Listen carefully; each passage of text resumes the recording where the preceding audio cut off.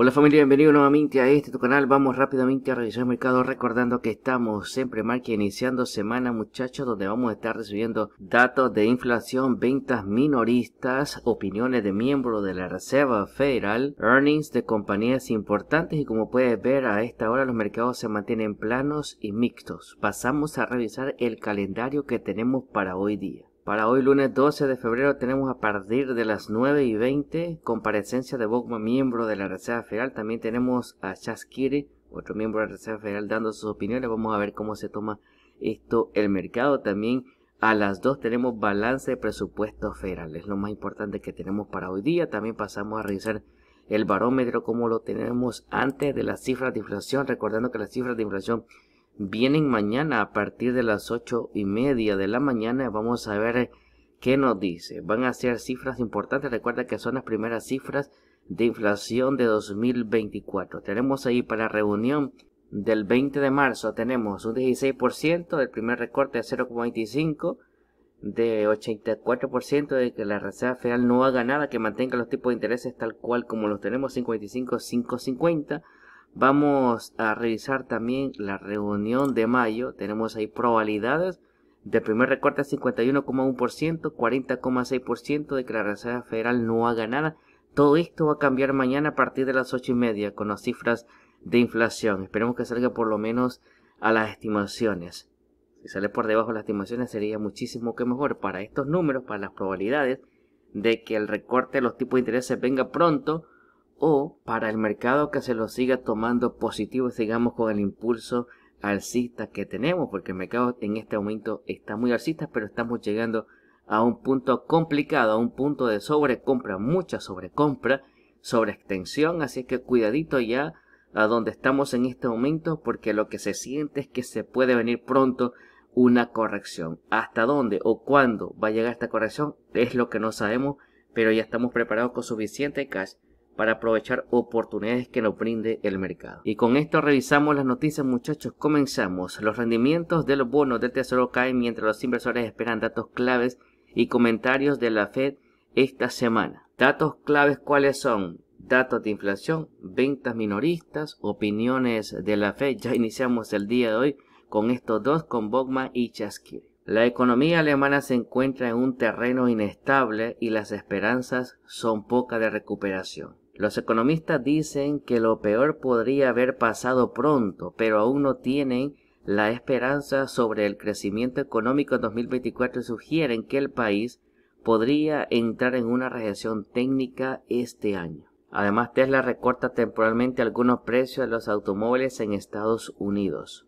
Y está recortando el precio del modelo Y según Router. Muchachos, precio se reduce el 29 de febrero con el modelo Y contracción trasera bajando los mil dólares este pasaría a costar 42.990 y el modelo Y de largo alcance. Y también tenemos una rebaja de mil dólares que pasa a costar 47.990 dijo Router pero la semana pasada creo que te pusimos una noticia en Twitter donde Tesla estaba subiendo también mil dólares en uno de sus modelos. Esto es temporal ok temporal esto está afectando a la acción del precio en este momento de Tesla. No, se mantiene ahí a esos 194,86, una subida a esta hora de 0,67.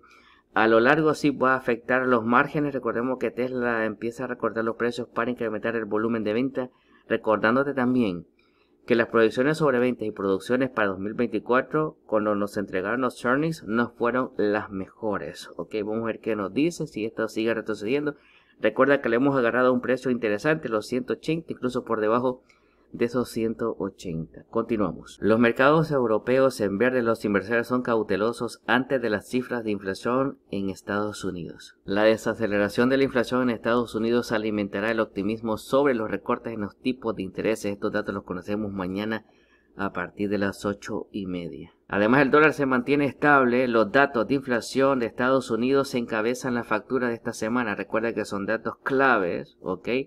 Para ver si este mercado se mantiene como lo tenemos en este momento alcista o empieza a retroceder. Y con esto pasamos a los gráficos. En pantalla tenemos al SP500 a los 5026 a esta hora muy alcista, sobreextendido De la 20 hasta la 20 semanal, muchachos, volvemos al gráfico diario, mire cómo lo tenemos. Queriendo hacer un alto más alto.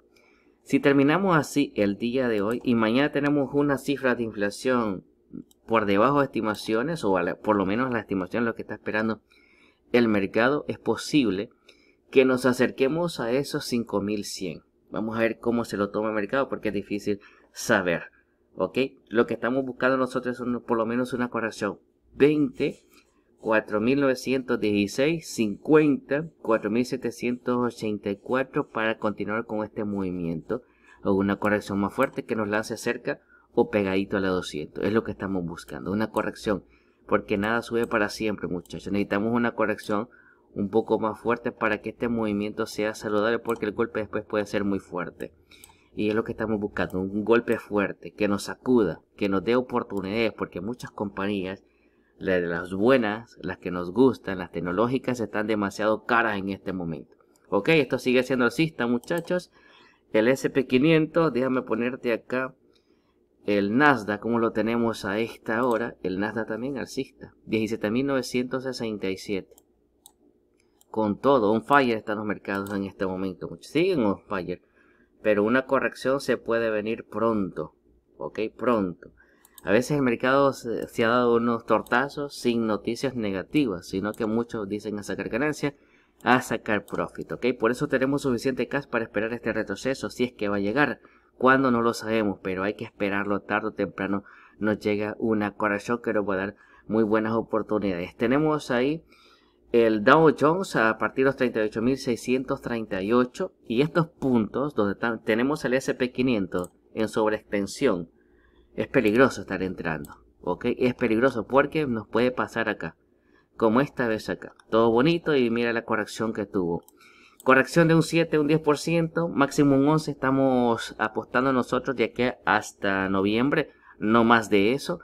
¿Ok? Recuerda que estamos en un año electoral, que se supone que es un año positivo. Llevamos enero positivo y principio de febrero también positivo. Ya casi estamos a mediados de este mes y ha sido un mes interesante donde se supone que es un mes no tan positivo para el mercado. Pero no siempre lo que sucede en el pasado se tiene que repetir en el, en el presente, en el futuro. Esto siempre hay que tenerlo presente. ¿Ok?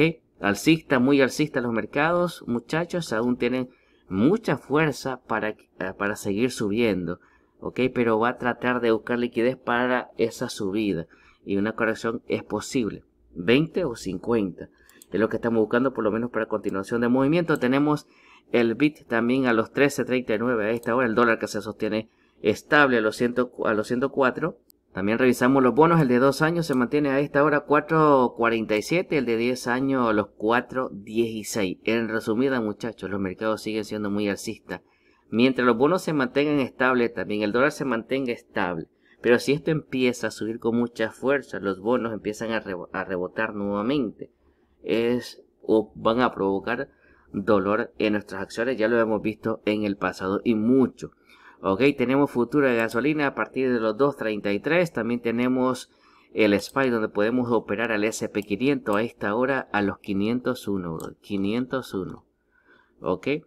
Movimiento 20, rebote continuación de movimiento por debajo de las 50. Hay una zona interesante a partir de esos 466. ¿eh? Ojo, que lo que antes era una resistencia se puede convertir en un buen soporte. También la tendencial. Ojo con esta tendencial pegadito a las 110 a partir de esos 451. 200 me gustaría. Un retesteo de la 200 en el SP500 sería interesante. Muchas compañías dándonos muy buenas zonas, ¿ok? Tenemos el QQQ igual 437 a esta hora. 20 penetración. Ojo, esos 400, 403. El día que replica el Dow Jones también. Una zonita interesante. A los 370. Zona interesante. A los 353 también tenemos el BEA, esto se agarra muy buena zona a partir de los 40-41, lo que estamos haciendo es acompañando, sacando algo. Tenemos Smoka 199 a esta hora, esto es el IWM, le pegaste pegadito ahí esos 188 y estamos acompañando el movimiento.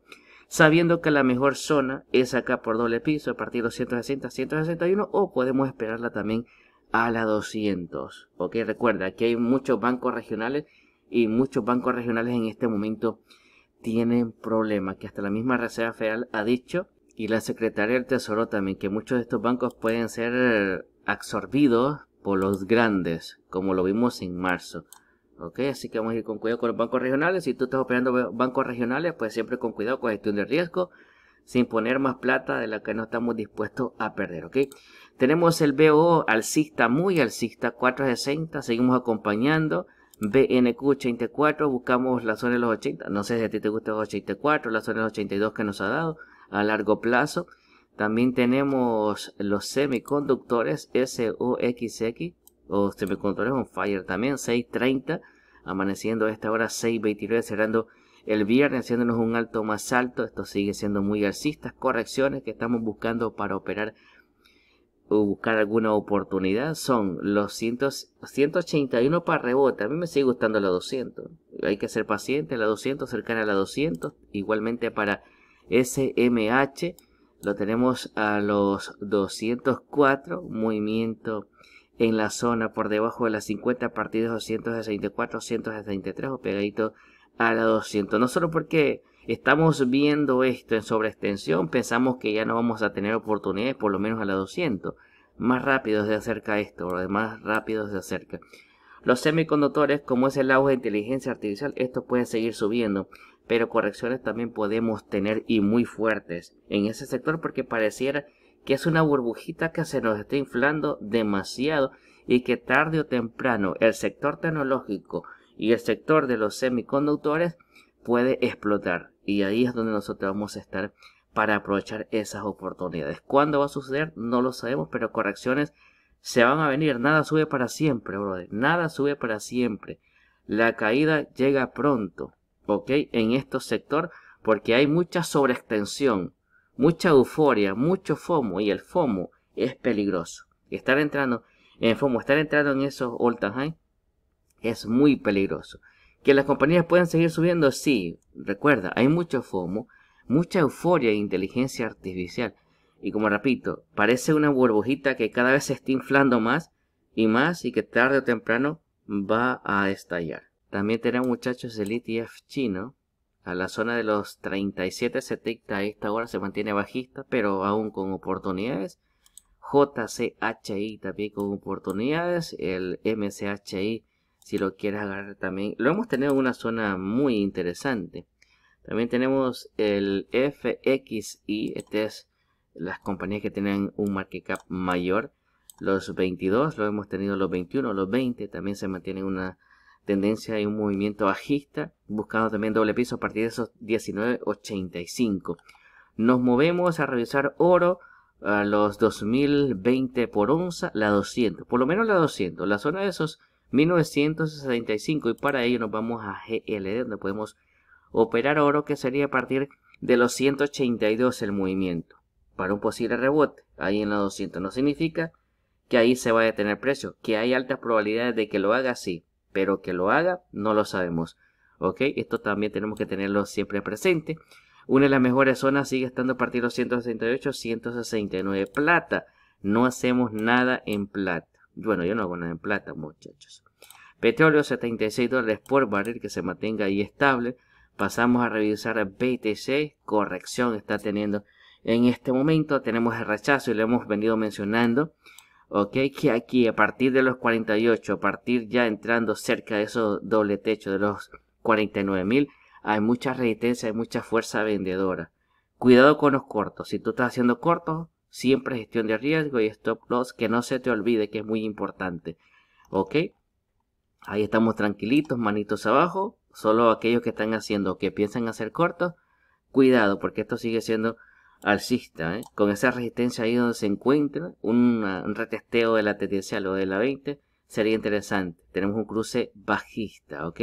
Por fin despegó BTC, por fin eh, BTC rompió la estructura de ese pequeño rango que tenía, pero vino a buscar la parte mm, alta del rango más grande, el rango más grande está entre los 48, 49 mil a la zona de los 38 mil dólares. Ese es un rango que puede marcar BTC. Vamos a ver si no buscar la parte baja. Pero esto tiene eh, fuerza. Volumen no lo está acompañando en este momento. Así que vamos a ir con cuidado. cualquier corrección, si tú estás haciendo un corto, sacar ganancia pegadito a esa tendencia a los 45, sacamos ganancia, sacamos profit, o en la zona ya de los 46. Un trading rápido ahí, ¿ok? Siempre gestión de riesgo, muchachos. Si tú estás operando BTC, recordemos que BTC puede ser un movimiento así, lo tengamos alcista, también una corrección hacia abajo porque las grandes ballenas recuerda que van a querer agarrar el precio de BTC, no los 47, ni los 40, ni los 50, ni los 52, sino que lo van a querer agarrar un poco más abajo. Vamos a ver, ¿ok? Si es este impulso que se está repitiendo o tenemos una ruptura de ese doble techo, nos vamos a buscar esos 52. Vamos a ver si nos buscar los 52, pero por ahora tenemos una fuerte resistencia a partir de los 48, 49, 49 mil para BTC, así que vamos a ir con cuidado. Si es trading ya sacaste ganancias, sacando profit. Si es para largo plazo pues no hacemos nada. Seguimos manitos abajo. Ok. Comenzamos revisando también las grandes, cómo lo están haciendo a esta hora. Google 150, 149 a esta hora. Amazon, ok. 174. Jeff Bezos estuvo vendiendo acciones, ok. 2 mil millones de dólares en acciones la semana pasada, para ser más exactos, fue, fueron las ventas, te lo digo a continuación, entre el 7 y el 8 de, de este mes, de febrero. ¿Ok? Por ejemplo, el 7 fue el día donde más vendió, ¿no? Vendió un poco más, vendió más de 5 mil millones en, de acciones a un valor entre los 69,85 y 70,49. El que, ¿por qué te traigo esto y por qué te digo esto? ¿Sabes dónde está sacando beneficios? ¿Dónde está sacando profit? ¿Dónde está sacando ganancias? Jeff Bezos, ¿no? Allá arribita. Acá, brother. Porque fue 7, entre 7 y 8. 7 lo tenemos acá. Esta velita. Ok, 7. Y la velita en decisión para el 8. Aquí estuvo vendiendo. Él está vendiendo en la parte alta. Él no está vendiendo acá. Para que nos fijemos dónde sacan ganancias las grandes ballenas. Ok en positivo, en cerca del all high, porque el all high lo tenemos un poquito más adelante, pero está sacando en ganancia, está sacando en una sobreextensión sobre la 20, está sacando ganancia después de los earnings, porque cuando presentó earnings, este presentó el primero, ¿no? De febrero, está sacando ganancia después de los earnings, donde están muy buena ganancia para las acciones. Así es que deberíamos de hacer nosotros también. Sacar ganancia cuando esto está en verdecito. No cuando esto está en rojo, no cuando llega el pánico y, decimos a regalar nuestro capital. ¿Ok? No, brother. Cuando cae una acción importante, lo que se hace es seguir acumulando. Si podemos seguir acumulando, si no puedes, pues, manitos abajo, manitos atrás. A veces se nos olvida que vamos para largo plazo, cuando el mercado está todo en rojo y cae y cae todos los días. Ahí es donde se aprovecha hacer billete y es donde vamos a hacer billete cuando esto empiece a rebotar. Está viendo los rebotes, ¿no? Está viendo, haciendo nuevos saltos, buscando esos 5100, el SP500, 5200. Vamos a ver si lo logra durante todo 2024. Aquellos que pensaban que el mundo se iba a acabar, pues perdieron muchísima plata porque algunos vendieron para esperar más abajo y ese más abajo nunca llegó. No podemos cronometrar el mercado ni adivinar el precio del mismo. ¿Hacia dónde va? Porque no lo sabe nadie, brother. No lo sabe nadie. ¿Ok? Continuamos. Tenemos ahí a por la zona de 288. La zona de la 200 ya la dio. Tenemos a Meta y no se hace nada. Lo que estamos buscando es una corrección. Tesla a los 194 a esta hora. Espero que nos dé nuevamente esos 180, no por debajo de los 180. Pensé que la noticia del recorte de los precios, como dice temporal, no le está afectando mucho. Vamos a ver. Es que la semana pasada subió algunos precios de sus modelos. No me acuerdo si fue modelo Y o fueron los otros modelos que tiene Pero te pusimos la noticia en Twitter. Ok, que estado subiendo los precios aquí en Estados Unidos. Zona que también están buscando 152. Ok, 152. Es el lujo que se puede dar Tesla. Subir y bajar los precios cuando se le pega la gana. Subir los precios lo ha hecho muchísimas veces. Algunas compañías lo han querido hacer, subir los precios y lo que han recibido son cancelaciones de pedidos. ¿Ok?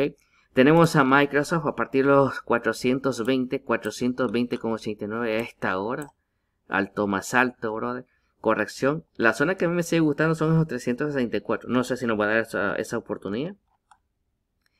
eh, Microsoft, ok, Nvidia también 721, 727, haciéndote un alto más alto. Como te estaba hablando de los semiconductores, esto está en falla. Esto puede seguir subiendo más, esto te puede venir a alcanzar esos 800 dólares si seguimos así. Mira esto, mira esto.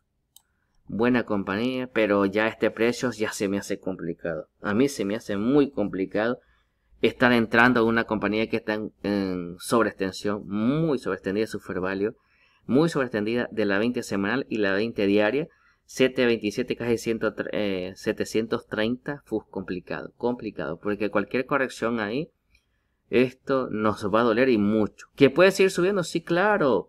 Mañana puede tener esto a los 7.40, dependiendo cómo salgan los datos de inflación y cómo cerremos el día de hoy. AMD, la zona de los 173, seguimos acumulando. Esta te dio un movimiento a la 20. Entonces, si esto viene a tocar la zona de los 184 o los 200 dólares, ahí sacamos ganancia o sigue acompañando a largo plazo. Las mejores entradas para mí para acumular o empezar a hacer alguna posición son 130, 132. TSM 133 también buscando su fair value los 144. La seguimos acompañando. ASML 949.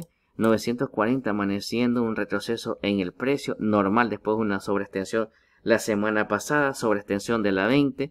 Movimiento interesante o zona interesante puede estar esos 860, 861 para ASML. Ok, tremendo monstruo también allá afuera. Intel 43 para Intel, estamos buscando la 200 o la zona ahí donde ha estado, de esos 41 para largo plazo. Qualcomm 155, 151 a esta hora Estamos buscando la zona de los 120 para un movimiento para largo plazo. Los 104 están sobre la mesa aún. Analog Device 195 no se hace nada. Micron Technology no se hace nada. Bueno, yo no haría nada. No sé si te gusta pegadito esa 20. A mí me gusta a la 200 y con paciencia. A Texas Instruments se le pegó muy bien. A Texas Instruments se le pegó a partir de los 138, 140, 145. AMBA, no sé si te gusta la zona que nos ha estado dando de los 50 ya a los 56, si es trading o la 200, vamos a decirlo de la 263. Empezamos a sacar ganancia ahí. Airbnb que presenta earnings esta semana, vamos a ver cómo lo hace, 148. Ahí está ya dentro a partir de los 114 115. La mejor zona que se le ha pegado esto ha sido los 104. Y esto acá. Pero esto fue hace ya muy buen rato. El año pasado fue que se le pegó esto a partir de los 104. Sacaste ganancia en la zona de los 153 o sostienes aún si le llevas a largo plazo. También tenemos acá una banderita. Parece una banderita esto en Netflix, ¿no? Una banderita, muchacho, que nos puede lanzar el precio un poquito más hacia arriba. Ok, que lo está viendo acá. Es una figura chartista. Vamos a ver si esto es así. Un movimiento que nos puede lanzar cercana a los 585, los 600 dólares. Pero el movimiento que me gusta para Netflix sería en la zona de la 200. Para mí, ok, la 200. Revisamos también a FIR, muchachos, 10% después de los cenes de caída la semana pasada, buscando la 200 para hacer trading o la parte baja que nos marcó de esos 37 y sacar ganancia en la zona de los 49. Revisamos ahí inteligencia artificial. Esto ya le pegaste en la zona de los 23. La 200 es nuestra primera zona para sacar ganancias. Esto es lo que está haciendo a partir de los 29 o la dejamos correr hasta donde nos lleva. Boeing que sigue teniendo problemas con sus aviones a los 209. Vamos buscando la zona de los 198 o esos 200 dólares. Cruce bajista la tenemos en un rango. En la parte media de un rango nosotros no operamos frente a una resistencia, sino que esperaríamos esos 200 o la zona de los 198. Walgreen 22, si te gusta, también interesante, si no un poquito más exigente, vámonos a los 20 o a los 19. Revisamos mercado chino, que aún está con oportunidades. Baba, por ejemplo, a partir de los 70, 71, 69, esos 66 también vigilando que hay oportunidades. NIO también con oportunidad a partir de los 5,95, la zona que ya agarraste de los 5,31, Baidu 105, todo esto está en oportunidades, todo. ¿Ok? Lo que vas a tener acá es mucha paciencia. Recuerda, estás haciendo los primeros movimientos, si estás por primera vez comprando esto. Segundo movimiento lo podríamos estar haciendo, por ejemplo, en Baidu a los 82 o la zona de los 75, segundo movimiento, para reducir esta pérdida que estás comprando los 105 o compraste a, los, la zona de los 100, 102. Esto es bajista, esto puede seguir corrigiendo también, ¿ok? PDD, la parte baja pegadito a los 110 puede ser un impulso de trading para acumular me gusta los 200 por debajo de los 200 Otra que tenemos interesante va a ser, o hemos tenido interesante BYD, la zona de los 21. JD también interesante, 22, 21, los 18 que se estaba buscando. Tencent le hemos agarrado los 33 y ahí seguimos el movimiento. Son compañías interesantes en el mercado chino. Como repito, paciencia, muchísima paciencia. No sabemos cuánto tiempo vamos a tener aparcado ahí nuestro capital. Así que tener esto siempre presente. Share Communication, muchachos, que aún sigue interesante en zona de oportunidad. Yo le llamo zona de oportunidad, zona de, eh, zona de interés, ahí donde he estado. Ok, esta zonita ha estado interesante. Seguimos también vigilando los 275, 250, pero la zona de los 280, uff, interesante. Muy interesante para esta compañía, ok. PayPal también al día de los shones, muchachos. Zonita de los de los 56, 57. Son interesantes. Largo plazo. Trading, lo que tú quieras hacer con ella. Ok. A los 59 aún tenemos oportunidad. Espero que le hayas agarrado acá. 59 sí tenemos un poco de desplazamiento. La zona de los 61. Vamos a ver cómo se comporta ahí. Cómo tenemos ese cruce. La 20 con la 50. Vamos a ver si esto le siguen bajando, porque le han bajado muchísimo la calificación, pero no había caído mucho. Ok, esto es lo que le hizo tumbar fueron los earnings, la zona de esos 55-56, que a mí no me parece mala zona, por lo menos para trading. Ok, como siempre lo repito, no solo porque a mí me gusta, te tiene que gustar a ti, no, jamás. Ok, tienes que hacer tu propio análisis también primero para tomar una mejor decisión, ok. Shui también la tenemos en la zona de los 16, 17 la hemos tenido. A mí me parece también una zona interesante y estamos pensando a largo plazo. Nike, déjame revisar Nike donde la tenemos. La zona de los 104 ya. Les ha agarrado los 99 y los 100 como primera zona. Los 99 y los 100 los ha respetado y mucho. Así que vamos a ir con cuidado ahí. Revisamos también Verizon a esta hora. Verizon pegado a las 50. Me gustaría esos 39 o la zona de esos 38 con 88 para un impulso. Esta zona es interesante. Lo que antes era una resistencia se puede convertir en un soporte para Verizon. También revisamos a Build.com después de los años también ha estado retrocediendo. La tenemos ahí en la zona de los 65 para un rebote posible. rebote puede estar interesante si no buscamos los 61. Si quieres ser un poco más exigente, pues nos vamos a los 52. Esto es rebote, esto es muy bajista, hay que tenerlo presente también, bajista. Las proyecciones no están siendo tan interesantes para Build.com, así que con cuidado, ¿ok? La compañía de chocolate, recordemos que estamos en un mes donde más chocolate se vende, la tenemos a partir de los 193. Vamos a ver si nos viene a tocar la zonita de las 50, los 189, 188, zona interesante pensando también a largo plazo como primer movimiento. Él también la estamos vigilando. Ese retesteo de la 20, el cruce, estuvo interesante. La zona de los 137, la parte baja de una compresión y salimos en la parte alta de una compresión. Entramos abajo y salimos acá arribita. O si la quiere llevar a largo plazo, pues vamos a largo plazo. También podemos esperarla por debajo de la línea móvil a partir de los 123. 124. Fútbol TV. Un miembro de la familia los preguntó el otro día. Ok, ahí es, es monedita al aire, billete de lotería, 1.74, 1.80, no sé dónde, dónde la han agarrado. Y la zona del cruce de líneas móviles para sacar ganancias. O al menos que tú quieras llevar esto a largo plazo. Al menos que tú quieras llevar esto a largo plazo. Tenemos a Humana también a los 3.70. Aún para mí está en oportunidad. Pero espero que la hayas agarrado a partir de los 3.50. Que es una zona incluso por debajo de los 3.50 la hemos tenido. Ok, también a 3M muchachos. 3M está en una zona no tan mal, no tan mal, si no buscamos los 90, si quiere un poquito más, más hacia abajo, la zona de los 90.02 o el doble piso 84. Ojo, bajista esto, ¿eh?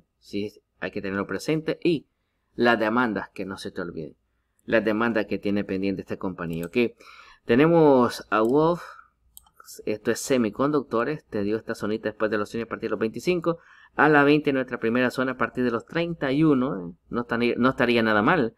De 20 a los 31, son 11 dólares de ganancias por cada acción, ¿eh? no está nada mal, ¿eh? no está nada mal. Así que sacamos ganancias, sacamos profit ahí, ¿ok? También revisando a Pexi, muchachos. Pexi, la zona de los 160. No sé si has estado operando la zona la semana pasada, 166, 167. A la 200, 100, 74 sacamos ganancia. Palantir ya sacaste ganancia. La esperamos nuevamente en la zona de los 16. Eh, SoFi, ¿qué ondas con SoFi? SoFi a largo plazo puede ser interesante esta zonita. Los 7,52, la zona de los 7,28, o ahí donde está. Si no te va a dar nada, si esto viene a tocar la zona de los 5 o 6 dólares, pues ahí está. Nuestra zona pensando a largo plazo. Snapchat, lo que le gusta el riesgo, también a esos 10, 9 para un impulso. Otro movimiento, si lo estás haciendo acá para ser cosable, lo estaríamos haciendo a partir de los 8,36. Como siempre repito, no sabemos si va a venir a buscar esa zona a los 8.36. Por eso estamos haciendo un movimiento entre los 10 y los 9. Pero que puede seguir retrocediendo, esto sí puede seguir retrocediendo. Así que vamos a ir con cuidado ahí, muchachos, con Snapchat. Esto es moneda al aire, esto es billete de lotería, ¿ok? Ya tú lo sabes, billete de lotería. Expedia, ¿qué onda con Expedia? Expedia también no lo hizo tan, tan bien en opciones. Ese apoyo en la 110, 126, no sé si te gustaba, a mí me gusta la 200, ¿eh? Ver si no está la 200 116. Si no, pues, y tiene que tocar la 50 y es trading lo que está haciendo, sacamos ganancia, sacamos profit ahí, ¿ok?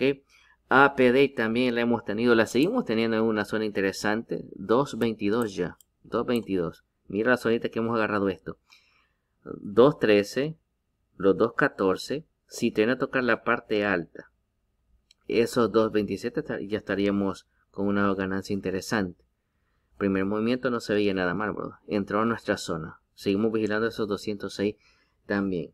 Esto es largo plazo, que no se nos olvide, ¿ok? Largo plazo y lo largo plazo se respeta. Tú sabes esto, ¿no? Largo plazo es la mejor inversión que podemos hacer. Tenemos a Disney, la zona de los 107, buenos earnings, buenas proyecciones. Zona que vamos a buscar nuevamente, mira, los 93. La zona de los 89, que la venía a tocar ni idea, pero es una zona que estamos vigilando eh, para Disney. Porque ya lo ha hecho Disney, ¿no? Mira el impulso que tuvimos después de unos earnings también Mira hasta dónde nos lanzó después. Pero Disney ya empieza a recuperarse de todos los problemas que tenía. Que tenemos, aún con problemas Disney internos muy fuertes. Pero como los estábamos antes, estamos ya un poquito mejor. Tenemos a Enfase Energy 124. Seguimos acompañando. Ixi, seguimos buscando la zona de los 68. Ya operaste los 68. A la 200 si querés sacar algo de ganancia. Solar es también. Solares está aún en una zona interesante, la tenemos en resistencia, espero que la hayas agarrado en la zona de los 65, 70, ahí a los 78, si queremos sacamos algo, sacamos algo de profit, ¿ok? McDonald's, muchachos, McDonald's, la zona de la 200 estamos buscando para McDonald's, la 290 a partir de 280, 281, las zonitas más interesantes para McDonald's están a partir de esos 256, Mercado Libre Nada, bro, de 1756. Seguimos acompañando, sacando ganancias. MGM que presenta en esta semana 47. Vamos a ver si lo hace muy bien y nos busca esos 51. Si lo falla, lo esperamos en la que va comenzando a los 36. Tenemos a MicroStrategy 650. Todo lo que es referente al escrito ha estado subiendo. El problema es que BTC empieza ya a tener una corrección. Tenemos 240, 142 para, para. También tenemos a CBS a los 76, nada, buscando la 200, esos 70 dólares, que sería una zona interesante. También revisamos pelotón, muchachos. Ok, pelotón, que esto es moneda al aire, ok. Monedita al aire ahí en pelotón. A la zona de los 4.55, a la 20 o la 50 es para tomar ganancia, tomar profit. Es lo que estaríamos haciendo ahí en pelotón. Esto es trading, moneda al aire. Lo que es moneda al aire se respeta. ¿Ok? Porque esto recuerda, muy bajista. ARM se sostiene 116 después de los años, un gaparcista. Espero que haya sacado ganancia ahí, muchachos, ¿ok? Muy buena ganancia. Y en esta otra, muchachos, Super Computer. mira que esto, bro, para mí esto es una, para mí, bro, esto es una burbuja demasiado, demasiado inflada. Para mí, en mi humilde opinión. ¿Ok? Y como puedes ver, esto sigue más, amaneciendo, mira. 7.40 de la semana pasada, 7.55 a esta hora para Super Microcomputer. Zonas interesantes fueron estas que se te dieron acá. E incluso los quedamos esperando en la zona del, gap. 191, mira dónde va esto. Mira dónde va esto, 156. Aquí es peligroso, brother. Aquí es muy peligroso. Como repito, para mí esta es una burbujita que se está inflando cada vez más y más y más. ¿Realmente esta compañía vale esto? Es lo que tenemos que pensar. ¿Realmente vale esto? En este momento. Quizás a futuro. Pero sobrevalorada. Para mí, ¿eh? Sobreextensión, mucha sobreextensión. Estas son las que dan miedo. ¿Ok? Estas son las que dan miedo que están en sobreextendida. Así sea una compañía de calidad. La compañía que sea número uno allá afuera. Pero, mucho. Mira, esta es la gráfica semanal. Tú te imaginas una corrección de los 754, 755 a la zona de los, eh, de los 372, 370. Uy, te duele algo, te duele algo o te da algo, bro.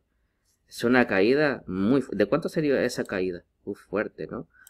Hasta acá sería una caída de un 50%. Tú puedes soportar una caída de un 51% hasta ahí. Peligroso, peligroso.